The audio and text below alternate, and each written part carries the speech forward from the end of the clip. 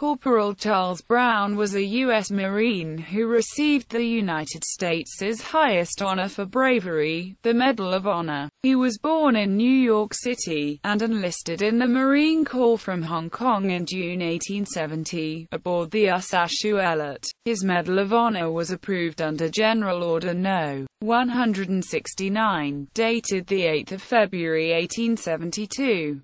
There is no record of Brown having received his medal, as he deserted from the Marine Corps in October 1871, before the medal was approved.